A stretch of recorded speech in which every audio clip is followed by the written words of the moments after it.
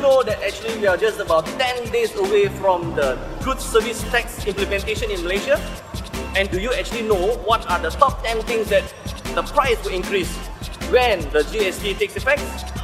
Well, today I'm going to find out if anyone or everyone here knows about it or not. Let's find out from this girl.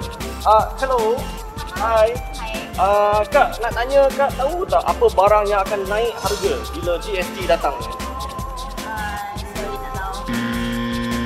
Tahu. Aduh, tengok semua pun tak tahu. Okey, tak apa, tak apa, tak apa.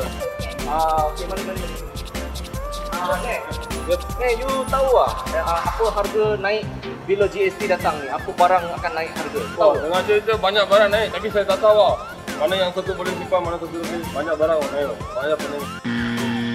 Kepala sekarang lah. Oh, everybody is actually pening kepala and they do not know what is actually price going to increase or decrease. Let's find out from this guy if they know or not.